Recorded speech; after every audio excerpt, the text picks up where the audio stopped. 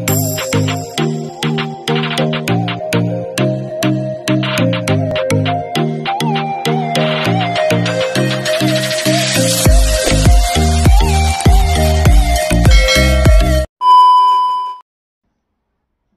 guys, advance Merry Christmas and Happy New Year.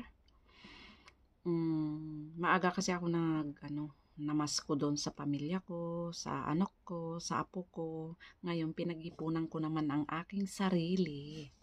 E, matagal ko ng pangarap makabili naman ng kahit mumurahin lang na iPhone. E ngayon pinag-ipunan ko naman bago naman ako mag for good sa Pilipinas at tuloy-tuloy ang pag-vlog ko. Yun, bumili po ako ng iPhone 13. Ito, iPhone 13 Pro. Wala po siyang casing kaya ngayon lalabas tayo at ibibilan natin ng casing. Pero i-open na natin to guys.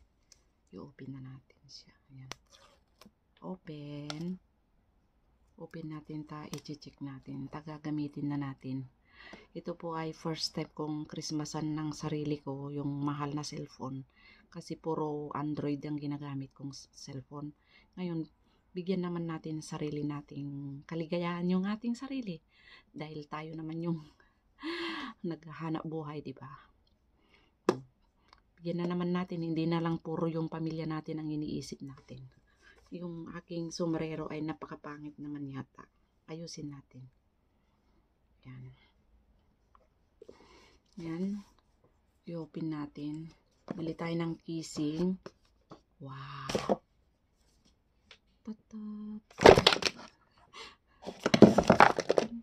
Yan siya. Nahulog pa. Ito na siya guys. I-open natin siya guys. Wow, ang ganda. Ganda siya, guys. Yan. Gagamitin na natin siya, guys. Yan. Balik muna natin. Huwag mo natin. Ayan. Ito. Charger.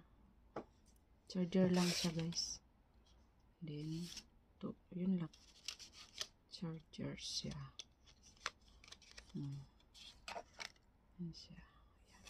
Ito yung type ko sa black. Hmm, ganda. Hmm. Pili tayo ng ano, kissing doon sa Apple Store ngayon. IPhone Max. iPhone 13 Pro Max. Ayan. Ganda. Ganda pala ng black. See you guys ha. Ipapakita ko sa inyo yung bibilin kong kissing niya. Mag pupunta ako sa iPhone store today. See you later guys. Bye bye. Bumalik na ako guys. Nakabili na tayo ng kissing. Wala kasi akong mapili. Na maganda-ganda. Gagamitin na natin tong iPhone. iPhone Pro Max. Ay Pro. Pro Max. Ayan. wow malaki. Yan na siya guys. Oh ang ganda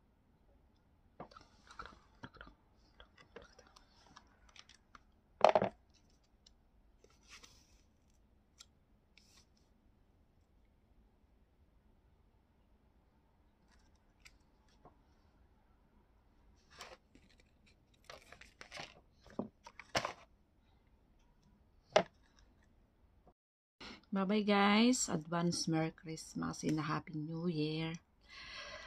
Hindi porkit na nakatuon tayo sa pamilya natin, bigyan din natin ng kasiyahan ang sarili natin, regaluhan din natin ang sarili natin.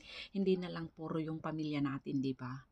Dahil tayo naman yung naghihirap, kailangan yung pangarap natin, bigyan din natin ng kasiyahan at ang sarili natin. Kaya lagi po kayong mag-iingat, huwag kalimutan magpasalamat sa Panginoong Diyos.